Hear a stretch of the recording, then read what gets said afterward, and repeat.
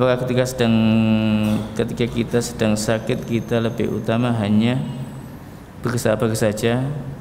Bagaimana bila sakit tersebut menular? Taib, masalah ini telah kita bahas atau kita sampaikan. Emang ada sebagian riwayat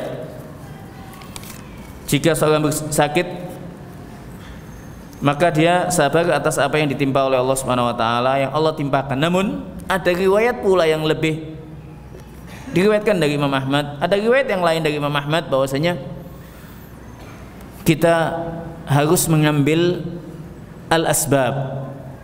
Wat tadawi termasuk mengambil sebab. Tadawi itu berobat. Artinya ketika kita mengobati sakit yang kita alami sesuai dengan baik itu sesuai dengan medisnya atau sesuai dengan syariatnya tidak menyalahi bukan berobat kepada orang pintar atau yang uh, menyimpang ya. Yang demikian jaiz.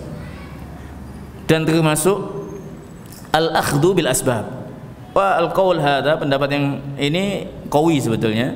Tidak bertentangan dengan tawakal kepada Allah Subhanahu wa taala. Ketika seorang sakit dia berobat dan penyakit apa pun ya hendaknya kita berobat. Kenapa? Supaya kita bisa meningkatkan ibadah kepada Allah Subhanahu wa taala. Karena sakit bisa menghalangi aktivitas aktivitas kita baik itu dalam taat kepada Allah atau aktivitas-aktivitas yang lainnya. Ini yang bisa kita sampaikan pada kesempatan kali ini. Aku qouli hadza wallahu taala ala wa alam.